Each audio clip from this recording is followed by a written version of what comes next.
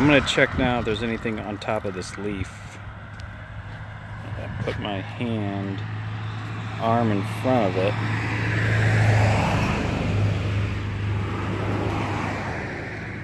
See, there's my hand.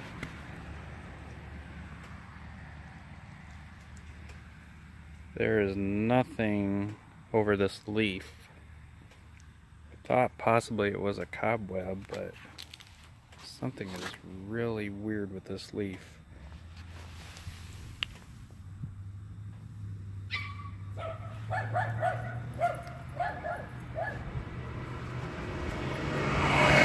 It's just really weird. It's flying all around me. It's now it's near my foot.